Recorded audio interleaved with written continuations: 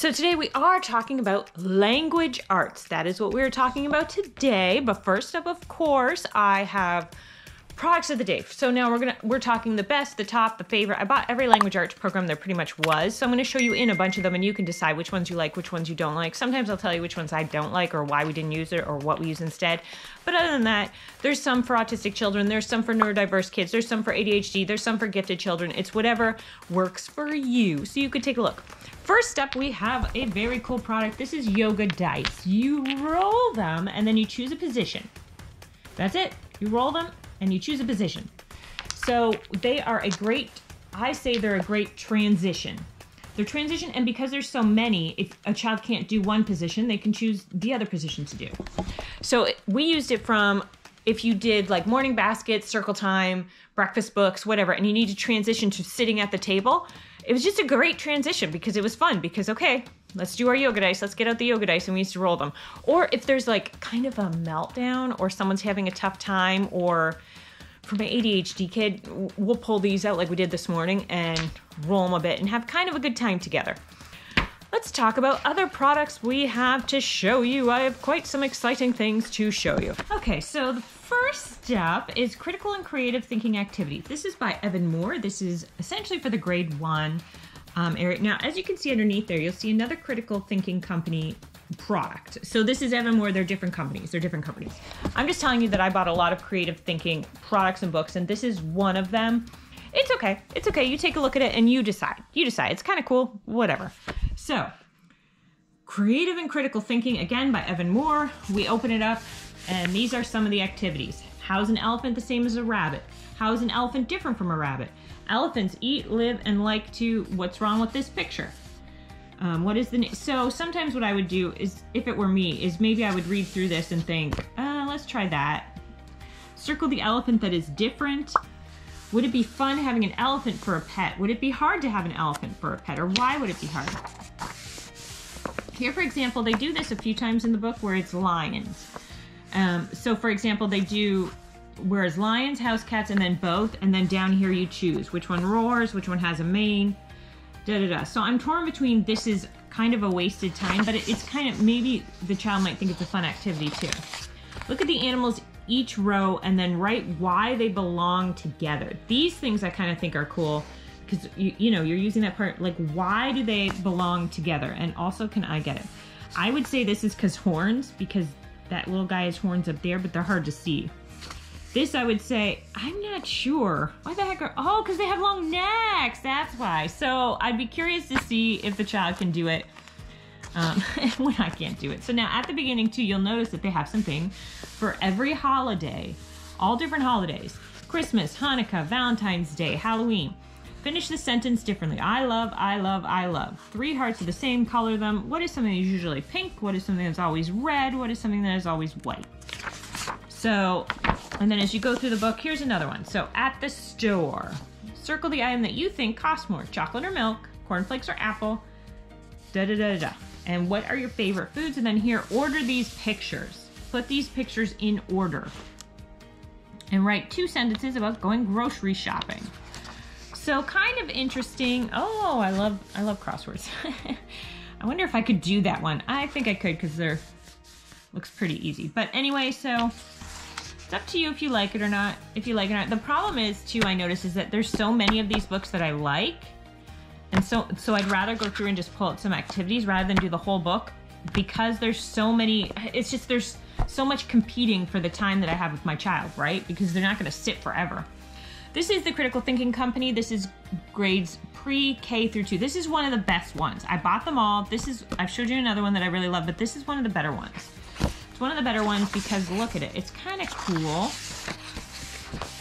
Vertebrates and invertebrates. Also, there's perforated pages, which is a plus. Is there perforated pages in here? I do not think so. Yeah, there are. Okay, so vertebrates and invertebrates. The vertebrates the animal has, okay, so you learn about that, and then it's like invertebrates and invertebrates, or vertebrates and invertebrates.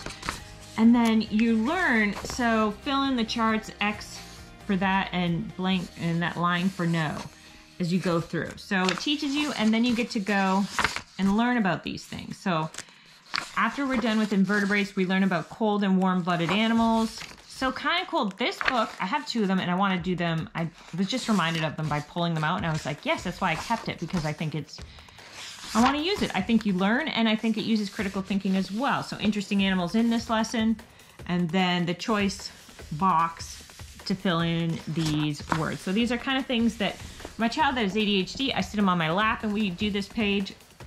Uh, maybe while he's eating, we can go through and has a snack, we can go through it. Or just, you know, just to make it low pressure so we're not sitting uncomfortably at a table. I also read too, one of, not read, um, when we lived in Germany, one of the OT there said, listen, one of the first things you have to do is make sure your child is in an appropriate seated chair where his feet are touching either the floor or something on something because otherwise his mind won't properly it, it won't focus as well. It's whether that's true or not i have no idea.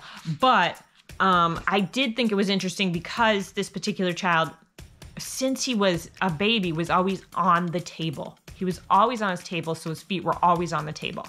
So there could be something to it because he still does it. He'll still sit in a chair and sit on the arm of the chair with his feet on the chair if he doesn't have a proper footwear. All right, one more product of the day. This is Dr. Bonyfide. I love, I love Dr. Bonyfide. So this is bones of the hand, arm, and shoulder. So there's four books. So they cover like bones of the skull, bone. So it's just dealing with Dr. Bones. It's dealing with bones. They are not the cheapest book, but who in the world am I? Ah, that is the great puzzle. Okay, so let's talk about things. It's got a little poem there. It has, I'll teach you about all 206 bones. Osteology is the study of bones and the skeletal system. So very interesting. More books that I want to go through. You ever have that where you have so many things you want to do with your kids and you're like, okay, you have to narrow it down. So what I do, a tip that I do is that I say, okay, for the next three weeks, like I'm going to, or next three to six weeks, I'm going to focus on this book and just do this book every morning. We do it a bit before we do schoolwork, right? Or during schoolwork or wherever. And then after that, it would be like, okay, for the next six weeks, I'm going to focus on this book. Okay, let's talk about. I want to show you in in a couple different reading, couple different language arts systems. Yesterday, last video, I'll attach it at the end. I showed you some language arts, and then I pulled out a couple books that I wanted to go through. Now let's take a look at Abeka's. We're going to start not in the kindergarten Abeka's, which is very overpriced. We're talking a thousand dollars. And then if you buy the videos to help teach your child, that's an extra 500. So overpriced. I have it. I'll, i can show it to you. Overpriced, and I don't care for it. it. Whatever. It's just personal opinion. But let's talk about the grade one program for Abeka for the language arts. I'm going to show you some cool stuff that you can get, don't have to get. But anyway, okay. So this is the language arts. This seat workbook. The seat workbook. So color E's green, color the lowercase e's blue. I'm in first grade. I'm learning fast. I'll write a story and read it by myself before the year is pass. All right, so we're just going through some easy, kind of cool stuff. It's nice. It's bright colored. I like that. I don't know the price of this book. I don't. I don't think it comes with a teacher's manual. Otherwise, I, I would probably have it. But anyway, so it's it's something to use. It's something to use, but you don't have to use it. So let me show you this other system here. Anyway, so just giving you a flip through.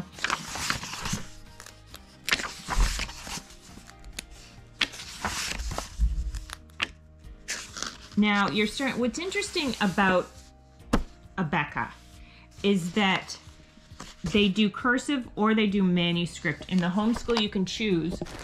Let me show you over here.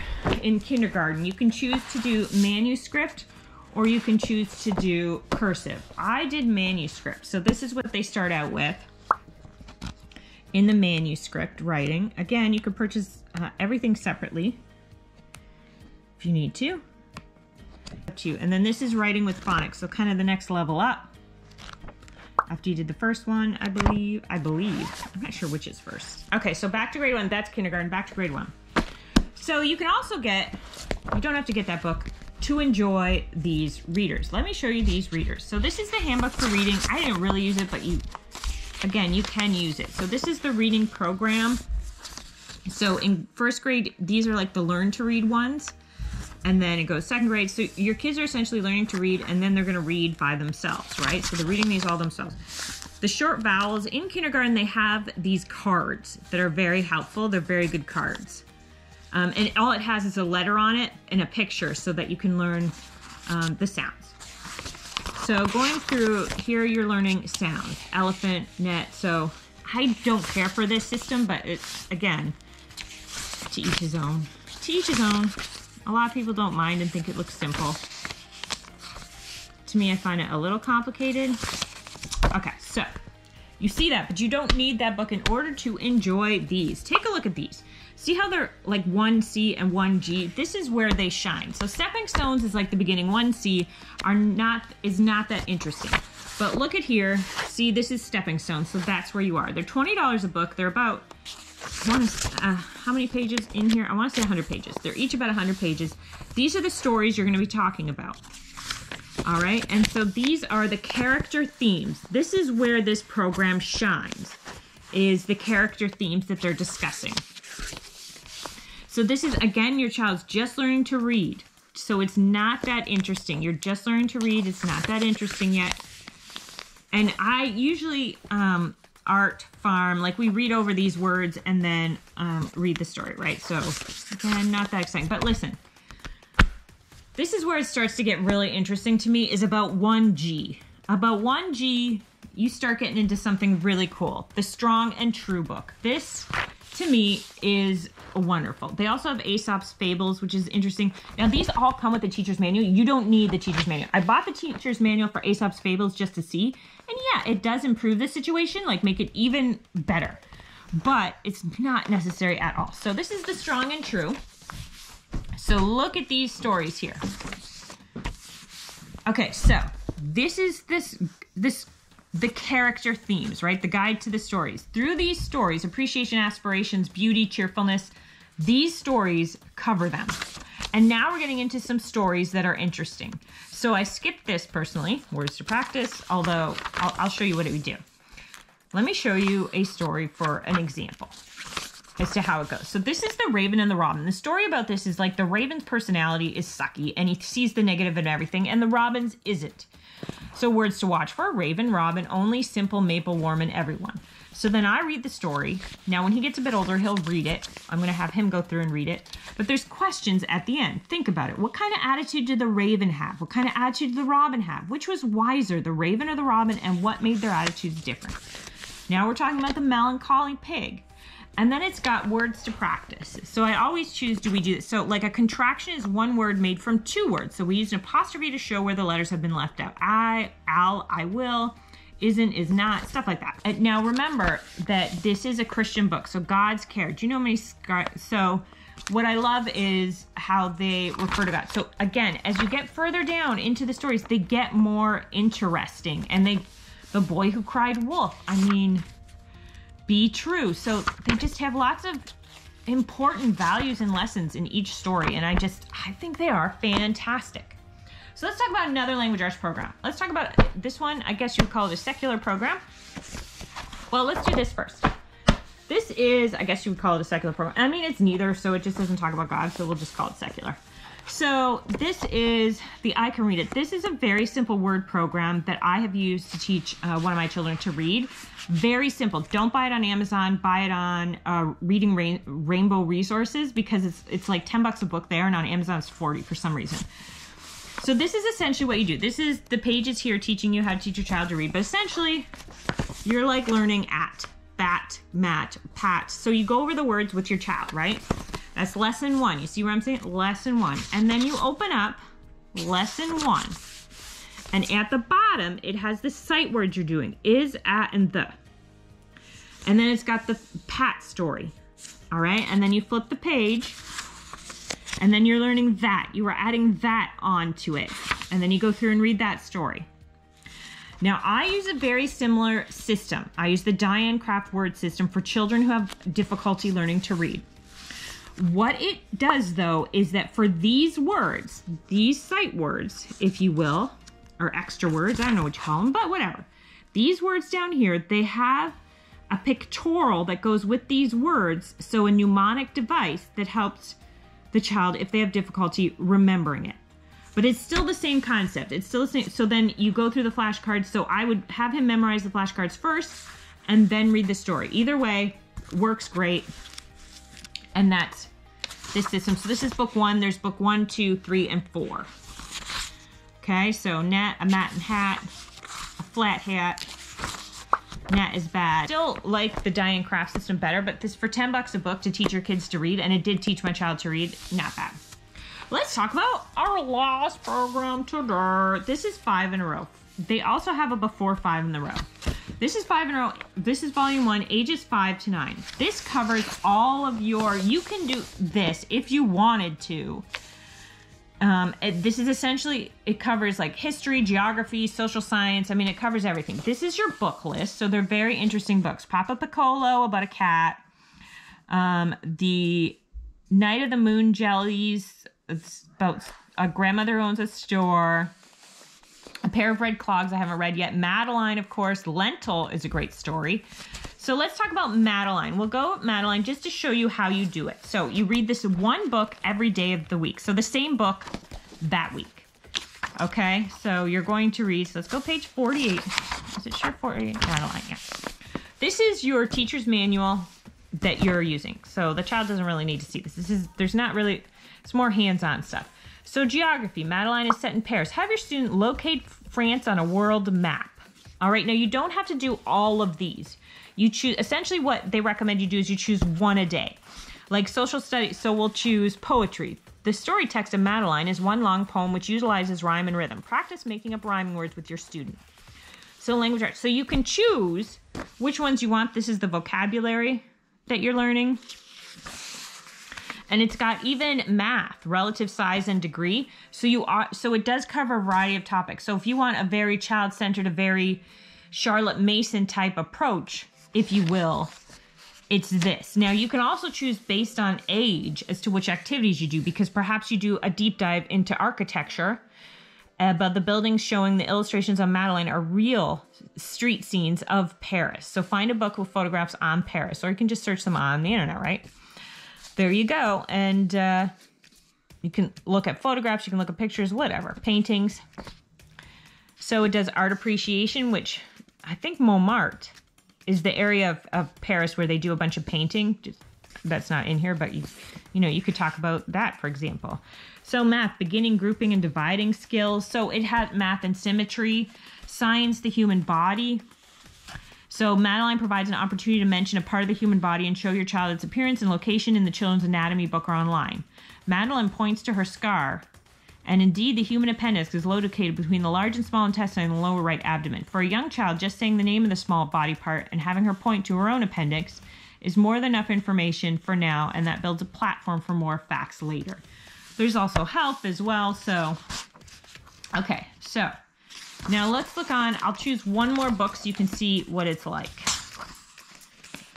Let me choose a book that I've read from here just so that let's do Katie and the Big Snow. I, I think Storm in the Night. All right, Night of the Moon Jellies. Let's go 189.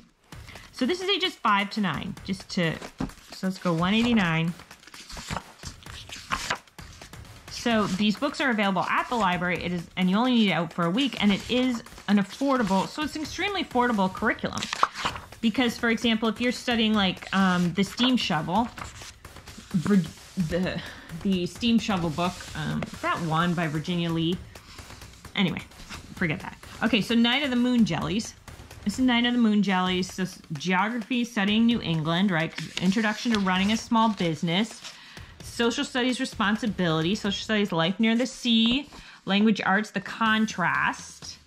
So it's up to you if you consider this a full curriculum or not, and you go ahead and use it. But I think it's it's a fantastic idea that you read the book for five days because you learn something new every time you read it. Language arts, first person point of view, vocabulary, marina, pier, moon jellies. So it's a very gentle and easy curriculum because some people, that is their thing and that is what they like to do, especially if your child's young. Math learning about money. Night of the Moon Jellies provides a chance to introduce the topic of money. Social studies working in a restaurant. Name his own restaurant, create his own menu with prices. Five in a row, not very expensive if you don't buy the books with it, if you just get this. And depending on what you're studying, say you're studying train, say you're studying um, whatever it is, depending what's available in your local area, you could also do field trips on it because I have a couple. I have volume one, volume two, and the pre pre five in a row as well, which is definitely an option. But anyway, there you go. And uh, I, we might have more language arts programs to talk about another time. What is your favorite language arts program? Let me know. Take care.